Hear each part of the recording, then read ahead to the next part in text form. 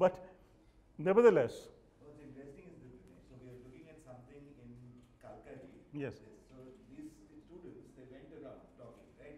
And they got the reactions from the ones who are, you know, the, the regular colony and how they actually want, want to keep everybody out. Yes. right? And they build the, the gates, right? Exactly the kind of conditions that we saw. see the advantage is, Same people who serve them. just think about it seriously. Not Just- just hmm. that, can I add one thing? If you, Greater Noida, places like that give you a very, I mean, almost a perfect example of what's happening. They build these high-end colonies isolated, right? No public transport, no cheap transport of any kind. So to get the service people there, they're all very deliberately developing slums around their back walls. So that you can develop a service population which will live there, come work there, but you can ignore them and not count. What I'm talking is a few more serious things. So I'm not a sociologist, but I read a little bit. Uh, because of this interaction and working close by, and the less educated you are, you can find. If I'm a nuclear scientist, I can't find a job in Delhi. But if I'm a carpenter, I can find a job in my neighborhood. So poor people should live all over the city because they'll be close to work. Rich people, don't worry about them; they'll find, look after themselves. But poor people should be live, allowed to live everywhere in the city because then they don't have to travel. You don't have to give them public transport. They can walk and cycle two, three, four, five kilometers because that's the same as rich people spend in the car. Secondly, because they develop human relationships with their employers, many of them, you give them old televisions, clothes, car, what do you call, quilts and so on, fans and so on when you don't need them. And therefore, their lifestyle goes up. This has been recorded. So poor people's life improves because of help from their employers in kind. Secondly, because they're not spending so much time outside the home. If you believe in, in marriage, some people don't, but if you believe in marriage, the institution of marriage, then the husband wife relationship is slightly better. It's not easy anyway, but it's slightly better. Thirdly, adults spend more time with their children, so there's more control. So these have to do with land use planning. Un- not planning, sorry, understanding it. So this is household size is 2.3. We have five, and number of trips by all modes of transport in this most successful city by TOD in the US is 13 percent, 12 percent. In Delhi is 30 percent. So please look at your own data. That's all I'm trying to say. Don't believe formulae from outside. Believe the theory. It's very important to understand the theory. High density is correct, but what is high density? Is 15 high density or 100 high density? And this is just to show you that all the successful cities in the world which have good public transport use have densities between 50 and 100. All our cities are much more than 100. Therefore, no matter which road you put public transport, you don't have to plan it. It'll get used because it, it's at high density. This is just, we had a very interesting conference a few years ago where we called a group called Five Representatives of Crime Prevention Through Environmental Design, CPTED. It's all over the world except India. Large number of architect, architects belong to CPD, CPTED groups. And they're saying that just by design, and you can reduce crime, improve public transport use on how you design your streets. And they're saying the first thing is the street must be safe from crime and accidents. The wider streets you have, you'll have more crime and more accidents. Because if you have a very wide road and a woman is getting bothered across the road, how do I help her? Then we put big fences and medians in the middle. So even a policeman is standing here, he can't get to you. He has to go in his car two kilometers to make a U-turn. By then, the woman is gone, and the cri- criminal is gone. Only in India and a few other idiotic countries do we have medians in the city and high fences. No American policeman or European policeman will allow you to make a fence in an urban city, urban road. Because they, you see in all the your thrillers, all policemen make U-turns and chase the criminal. They can't do that here. So even if I want to be a nice Indian as a male, I can't help a female across the road because it's so wide and blocked. So crime is to do with your design. So this is the only road where we try to do all, put all put all this into practice was the BRT in Delhi, and I won't go into that just now. I'll cover that. And guess who destroyed it? Mr. Kejriwal. No. No? There are other reasons. Rich people didn't do anything. It's a, my suspicion is yes, rich people is the people who own equipment to make metros. Yeah, and, and the newspaper. Because no newspapers are bribed, so don't forget that. There's no newspaper which is not bribed. So there is so much invested in capital equipment for tunneling and other things to make metros that if buses became possible, what would all the contractors do with that equipment? So everyone was bribed. And Mr. Kejriwal, because he's an IIT graduate, became income tax officer, so I have no respect for him. He destroyed the BRT physically. It's the only city in the world which has done that. Please remember that. So there has to be special about it, something about Indians. So this is what we are copying. And Phil Goodwin, who is one of the brightest transport planners in the US, said that solving congestion it was also the axiom that resulted in grievous mistake like the destruction of the heart of some of our city centers to make room for urban motorways. I argue that solving congestion does not depend on building more roads, but we do our children no favors if we confine them to car dependent mobility. And I think our grandchildren will wonder what took us so long to understand this. He said this 20 years ago. And we are doing this after 20 years. And Mr. Gad- why is Mr. Gadkari doing it? I say this in public.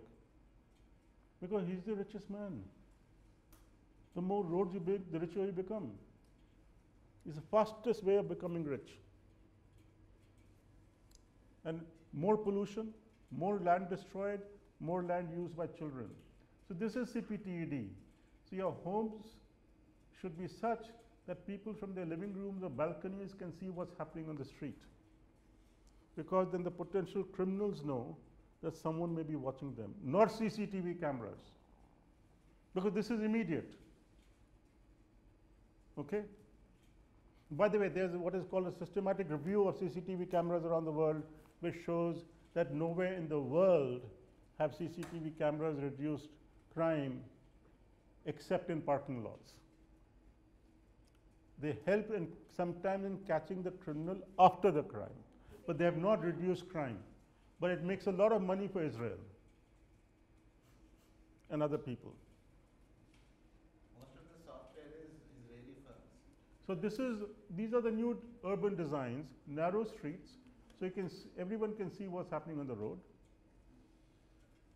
Glass front of, of homes being glass, so you can see.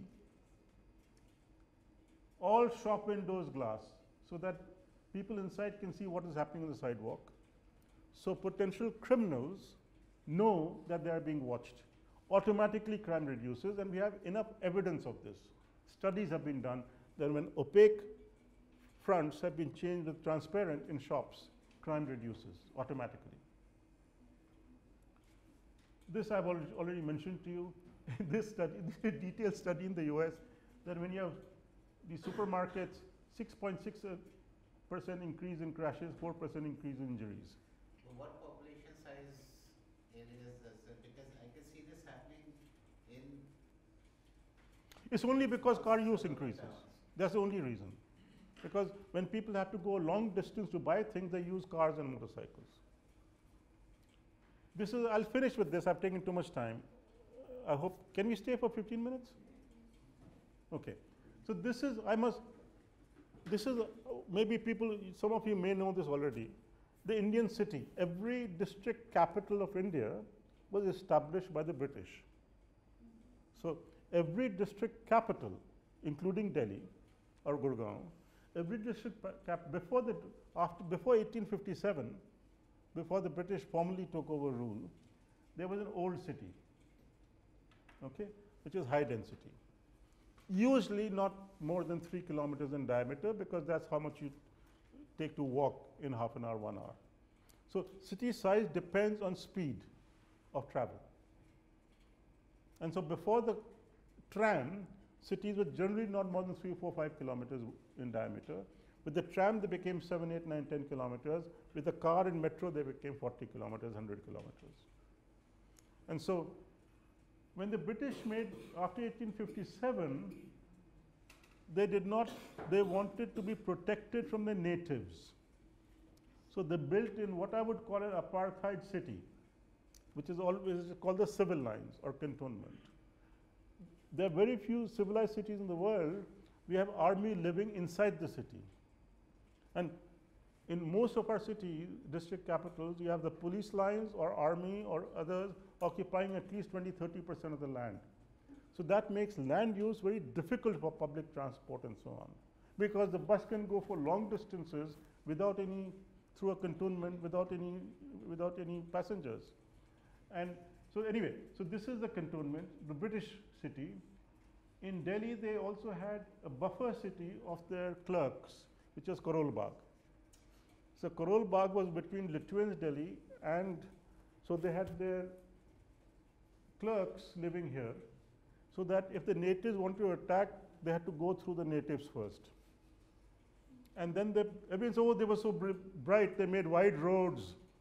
They made wide roads so that tanks could go on them and the army.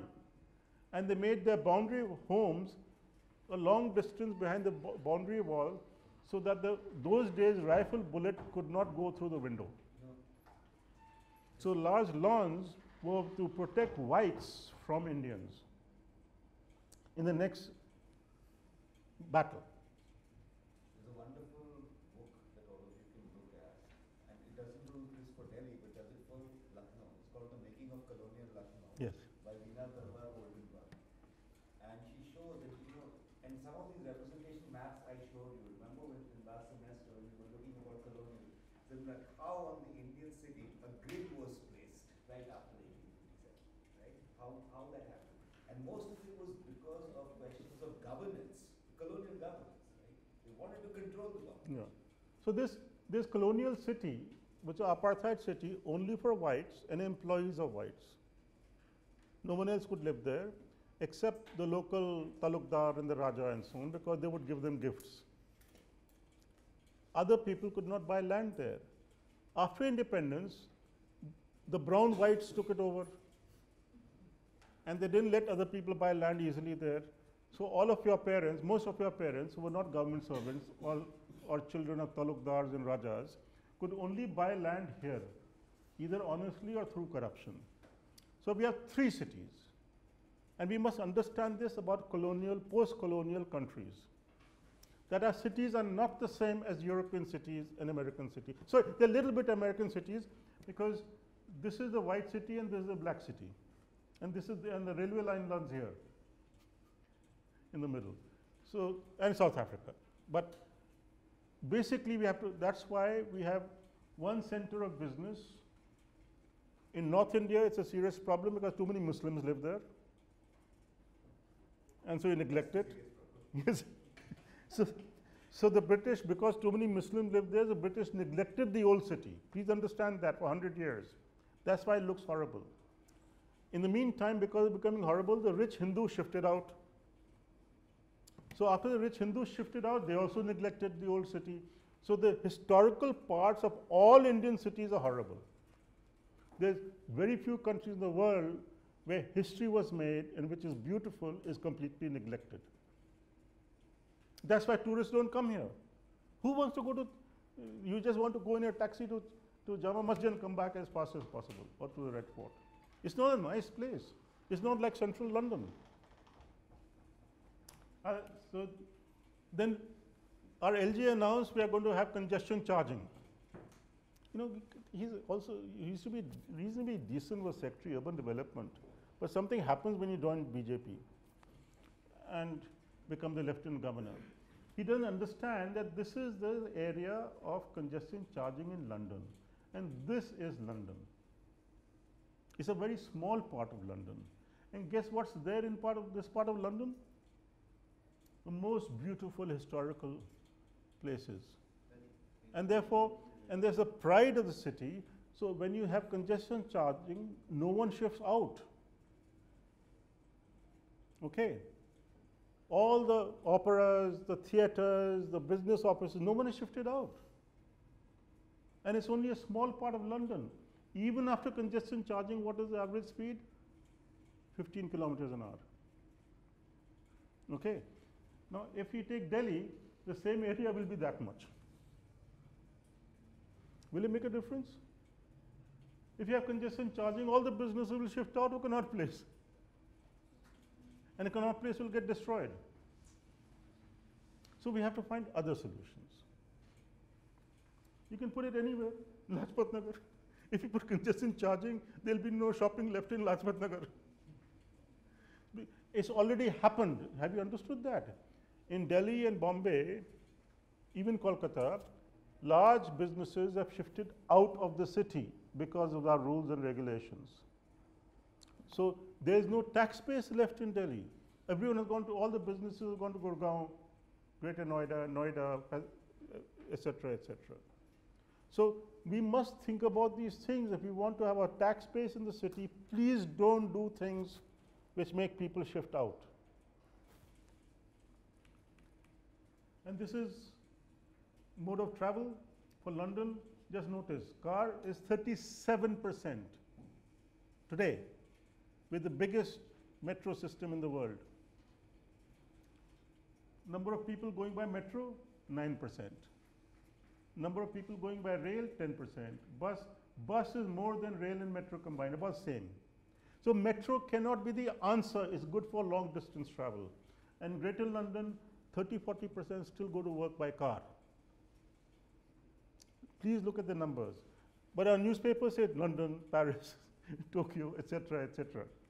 What is after congestion charging, how much shift to public transport? In central London, not rest of London, 8%. It's not a silver bullet.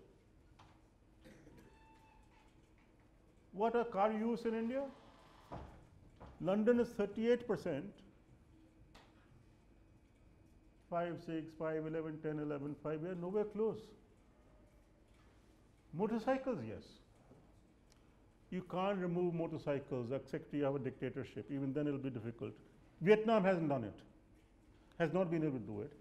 Once you have motorcycles, and the West never experienced it, where 60% or 70% of your vehicles are motorcycles. Once 60, 70% are motorcycles, there is no political demand from the middle class for public transport. Okay? Please understand that.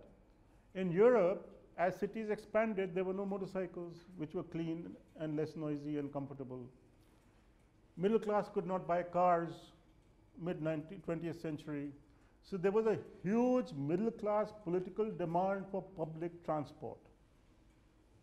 There is no middle class demand for public transport and no middle class demand by women for public transport. So politicians are not being stupid. They're just being forced by foreign experts to say we'll buy 1,000 electric vehicles or whatever. But there is no demand, real demand. And poor people should not spend any money on public transport. Because if you're earning 10,000 rupees a month, you better spend all of that money on your children's schooling, food, and medicine, and etc., and housing. And not 2,000 rupees a month out of 10,000 on transport. It's better for poor people to walk and bicycle close by to work. Because if we make them spend on public transport, their children will suffer. They won't get their books, they won't get enough food, and they won't go to a good school as long as they have privatized education. So if you want poor children to do well, they should walk, parents should be able to walk and bicycle to work. And what we can see from European cities is that just providing public transport doesn't reduce car use. What reduces car use is when people can walk and bicycle. If people can walk and bicycle safely, that's when private transport use goes down for two reasons. Because more people take short trips walking and cycling. Secondly, when walking and cycling become safer and nicer, then they use public transport also because you use public transport you have to walk four times a day. From your place to the bus stand, metro stand, from metro to your office, office to metro, metro to your. So you have to walk four times a day. So unless that's a nice experience, you won't use public transport. And everyone says, why to put the bus in the middle? There are very few idiots like Indians in the world. No other city in the world, there are about 200 cities now which have bus lanes and trams in the middle of the road. 200. Only in India it's been challenged. Guess what? This is a picture from early 20th century. All the trams, including Delhi, Bombay, and Kolkata, were in the middle of the road. So it's an old idea. Why does public transport have to be in the middle? Because then it doesn't have to battle with parked cars, entrances, exits. That's the smoothest place for public transport. And for you to reach the bus, you only have to cross two lanes. If when public transport is on the side, in the morning you may get on here, so you don't have to cross the road. But in the evening you have to get on the other side, then you have to cross the full road. So no, wherever you have it, you have to cross the full road twice in a day. So if you have it half, it's safer because you don't have to challenge the whole road. So deaths reduce in accidents. And uh, just I'll finish with this.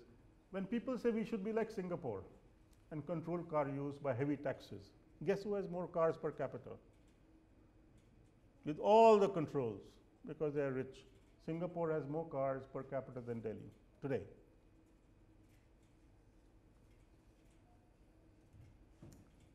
Uh, and I'll show you this that, and this is again for you people. Sit, when we've done this study also for 20 American, 16 American cities, a city, suppose a city is this big, you can have 20 roads running this way, 20 roads running this way, very wide. In the same area, you can have 40 roads running this way and 40 roads running this way, but narrower roads. So you occupy the same space in the city, right? And this is what's happening here. These are wide, big blocks, so these are wider roads. These are small blocks, so these are narrow roads. Same area. When you have small blocks, then it's closer to the road. And so you can take public transport or taxis or whatever more easily. And we now have enough data from everywhere in the world. Cities which are small blocks, more people walk, more people bicycle, and more people use public transport. And our data shows this is, for example, I'll show you why.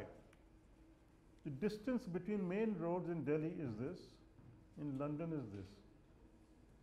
So people have to walk less to take public transport. So we have to understand that people respond, people's behavior is decided by your design, not by individuals. And so streets, now this is a perfect street. We don't like it. But look at the activity. There is more business per square meter in this street in any Indian city than Connaught Place. There's more business transacted per square meter on this road than Connaught Place. It's safe, it's social, you meet friends. When you have a wide road, you don't meet anyone. And lastly, this is what I was talking about. This is our typical road, and here is a lady standing there. And she screams for help. I'm standing on this side, what do I do? This is a design. Okay? This is in front of IIT. Earlier, we had more energetic students 10 years ago or 15 years ago. Whenever they put up with their friends, they'd go at night and break it. Now, our students are so stupid and, and, and so calm and peaceful that they've harmed themselves because there's a subway on this side. which gets locked at 11 o'clock because they think there's prostitution in the subway at night. So the police locks it up. So if you come back from movie and come to that bus, IIT gate bus stand, how do you come to IIT? Sorry? because IIT is here, this is your bus stand. How you cross the road? Fantastic design for people. So energetic students jump over. Sometimes they get hit by motorcycles. Others have to go half a kilometer to cross from the junction. So then they say, then they say people are being stupid jumping over the fence. If I was young, what will I do? I'll jump over the fence. So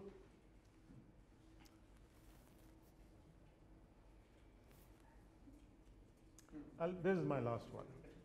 So-? Sorry. Yes. This is when I gave a lecture for him Okay, uh, for SNU. okay. He says, don't mention BRT. Um, this is last one. So what, how do you judge a city? You have to ask one question. You ask a question, can my eight or nine year old daughter go to a friend's place alone at nine o'clock at night? Can my grandmother visit her friend half a kilometer away across the road any time of the day? If the answer to that, any question is no, then your design is horrible. It's only when those two questions get answered yes, then you're a successful designer. Don't depend on the police. That's the worst thing you can do. A civilized society should have no policemen. Only uncivilized societies have more and more policemen. So basically, no gated no roads wider than 30 meters inside the city, except a few ceremonial avenues. Because no pedestrian light is more than 30 seconds. Old people walk 0.7, 0.8 meters per second. So you can't cross a road which is more than 24 meters wide.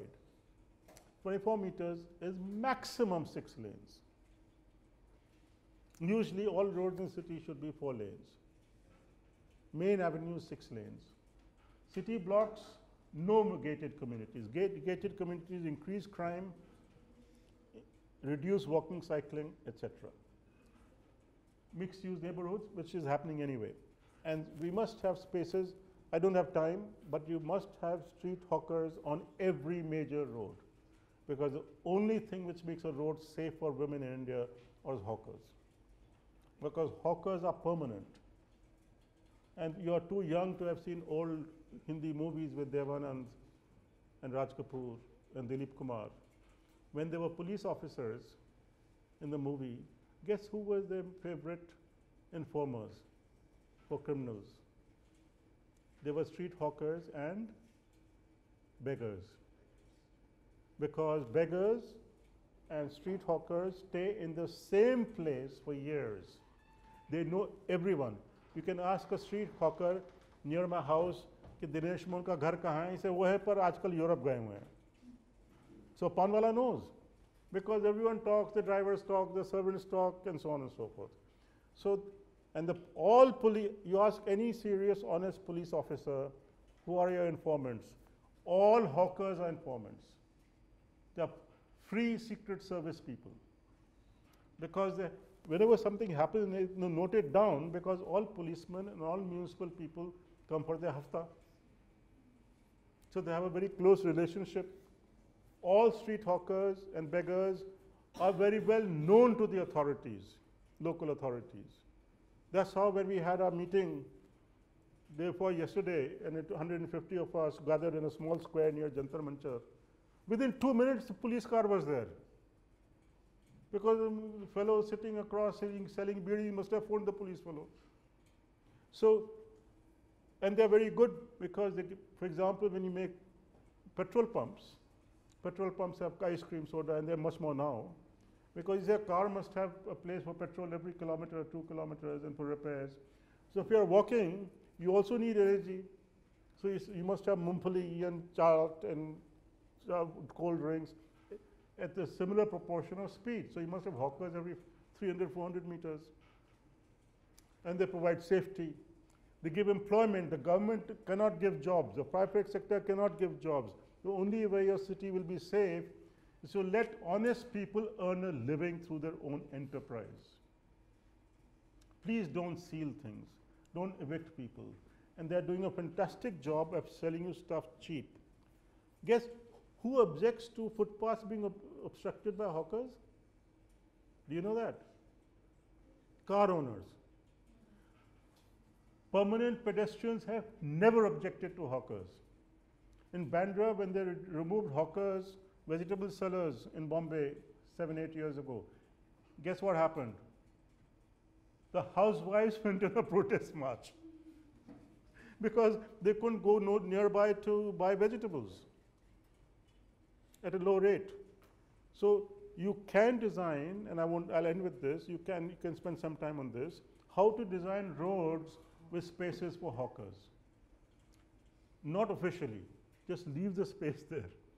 Because if it is official, then Mr. Ambani will buy all of them and rent it to people.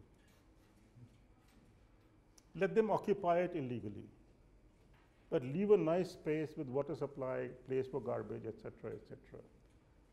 And because on every footpath you have to have a tree line, right? If you have a tree line, you have to leave one meter of a dead space between trees. So you can landscape it so that hawkers sit in between trees where people don't walk, and so on. So these are our solutions. These are not our problems. Uh, thank you very much. I've taken 15 minutes more. Sorry, half an hour more. Any questions, folks? Yes, I've taken too long, so there may not be any questions. Any questions? Come on. Anything you, that fits your. Dinesh, I have. Yeah. If I, if I may. You know, it's interesting. I mean, one hears, uh, all the data that you have shown us. Presumably, in a sense, a lot of this data, I'm sure, is also now available, right? What's interesting is, as you mentioned, a lot of the data is very counterintuitive to the way we have all been kind of trained to think almost by the larger media and, and, and, and the discourse that is out there. I am very curious that how does one, as designers, or as people who are agents who are going to work in the city, in our built, built environment, the larger environment as such. Yes, through design I understand, but generally otherwise, how do we make such kind of data? People understand this. I'm even talking about it as a communication issue. Do you see what I'm saying? I've been thinking about this very, it's a very important issue and question also. I've been thinking about it for a long time. And the only thing I can say is that India, because of its caste system, does not respect knowledge as a society. And 80% of the people are kept out of the system the people who have a fire in their belly, which is the bottom 80 percent, can't use that fire. Others are too comfortable. They have everything they want. They've seceded from India. They live in gated colonies. They buy bottled water. They have their own air purifier. They have children, their children abroad. So they don't, you don't have to have good universities in India and so on and so forth. And we have neglected the public sector for 20 years now, 30 years actually, because of Reagan and Margaret Thatcher. And we, Indians are very good at swallowing stuff and going overboard. Sorry?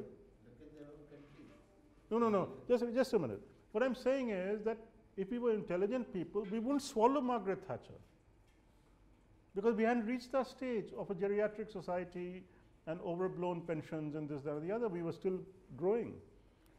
But you know what is the in the US today, the total number of people, the proportion of people employed in the public sector today in, Europe, in the USA, which includes public, I mean, government schools and everything else, municipalities, is 17% of all workers. In European countries, it's more than 25% of all workers work for some kind of government. What is it in India? Today only, 3%. today only the, an article actually mentioned. So only 3% of jobs are held by people who work for the government. So there are no professionals in the government. My cousin, who graduated first from, what's the place in Ahmedabad? CEPT. CEPT. Top of his class 20 years ago, 25 years ago, got a scholarship to go to MIT. Graduated, do his master's, graduated, taught the class there. Guess what his ambition was? To join the Boston municipality. And he's worked there for the last 20, 25 years in the Boston, and he's one of the most respected fellows in the city now. How many of you would like to join Delhi municipality? See, th- think about this seriously. Or Sonipat municipality. So what I'm trying to say, no, I'm answering your question, that unless we have a pressure to have respectable jobs where you can work as a professional in the public sector, who can carry out a decision or, take your data, number one. Number two, we have too few institutions in the country where work is done properly. So my, any, all of us around the country of in 30, 20, 30 good centers, including all subjects, is too few. We say in Delhi alone, if I put out this data, 80% of mem- faculty members at SPA will oppose it. 80% of people in Central Road Research Institute will oppose it, Or ninety. or 90, and so on. So, but then what happens is, if I'm the Secretary Government of India or a minister, Mr. Gadkari, should I listen to IIT, TRIPP, or 33 uh, other groups in Delhi who are saying the opposite? So, the TOD policy has been made by all the professionals in Delhi combined. So, if the majority of professionals believe the opposite, and there's no one in the government who can analyze it. So it'll be a longer. So I depend on the people sitting around you. That as you people become more responsible, our hope is in you. We have failed, and I really don't care because I won't be there after 10 years. I really don't care if the, if the world disappears. But if you people care, you have to take some of these things seriously because we have failed, because they weren't enough. And I'm saying not we. I shouldn't say we have failed. We have not been as effective as we would have liked to be. After all, many good things are happening, and they're happening because many of us did, did them. And, and, and, and are- some of our students are doing it. And some of our students have become faculty members, including Girish. So, uh, this is my phone, sorry. I think that my short answer is we have to have more uh, collegiates who think similarly. Because after all, a politician, my experience in my life has been that when a new idea has to be implemented, it can only be done by a good politician. And every time a good idea has been implemented in India, it's been by a good politician along with a good bureaucrat, not by professionals. Never, that's true, Not- never were. Professionals have been my enemy up to now. So, the, the whole, the, that's the most interesting part of innovative ideas. How many of you, all of you must have driven through villages. Have you seen those uh, water pumps which are trapeziums? Have you seen them?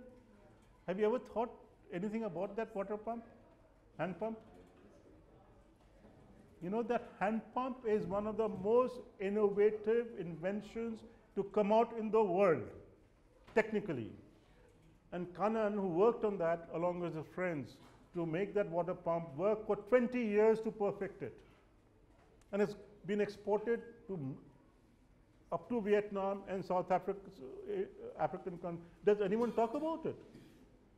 As- But that's what I've observed, that people think that it's a lot of work, so they've started having those kind of water connections again into villages. Yeah, that's true also. But what I'm saying is, my suspicion is that you wouldn't have been taught about it that we had a fantastic, how, how was that water pump, what innovation, what work, what went into it to make it work. It's been one of the most successful technical innovations in India in the last hundred years. Because it doesn't break down easily. When it breaks down, the local mistri in the village can fix it, and so on. Mother Dairy. Mr. what's his name? Kurien. It some of the innovations he did are first class, never done in the world before. Transporting milk in non-air conditioned tankers. Before that, all tankers transporting milk in the West were chilled. They calculated how long does it take for bacteria to reach a certain level. How many times does the tanker has to be washed to reduce the bacteria level in the tanker? So when you fill it with milk, when you fill it with milk, what should be the bacteria level in the milk? You reduce it to that level. You have less bacteria in the tanker when it's filled. After that, what distance can it go before the bacteria levels rise above a certain level? So they could transport milk long distance, longer distances without air conditioning. Now, what, what I'm trying to say is, fantastic things have happened in our nation, and people have done them.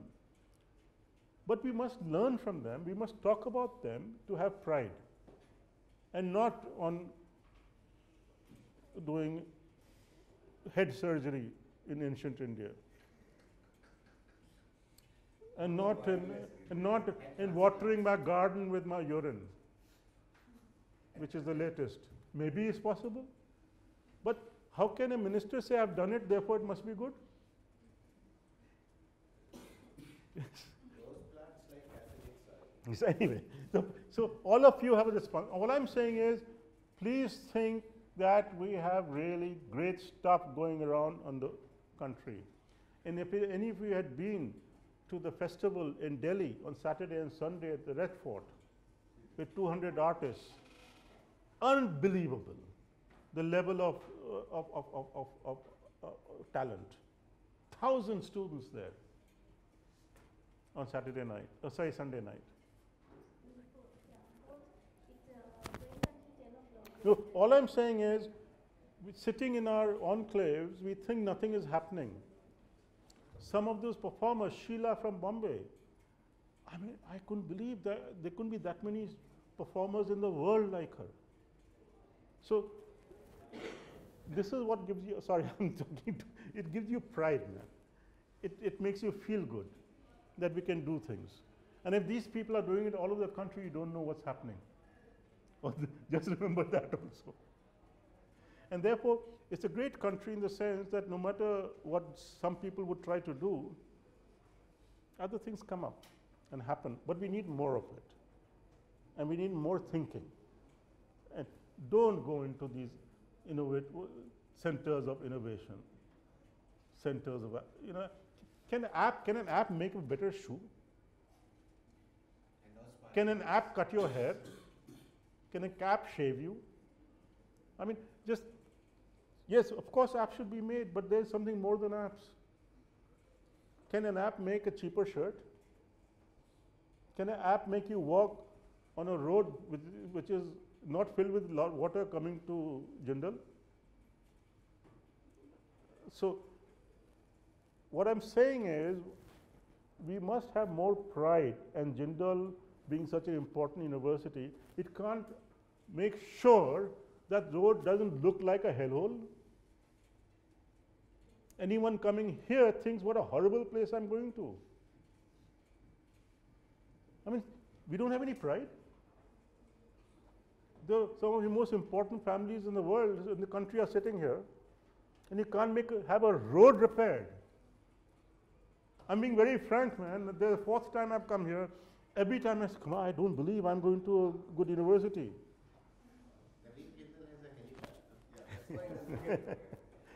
Think about it. Why? Suppose all of you, 7,000 students, went and stood on the road and blocked all traffic. We are not going to go until this road is repaired. Think about it. They won't invite me here again, but think about it. But so you can make that difference. It's your duty. Because the poor people, they can't do that, they're beaten up by the police. Police won't have the guts to beat you people. Don't stand there on a Sunday. Ask your parents to give you a gate pass. That's, that's, the, that's the so thanks very much. Sorry for keeping you so long.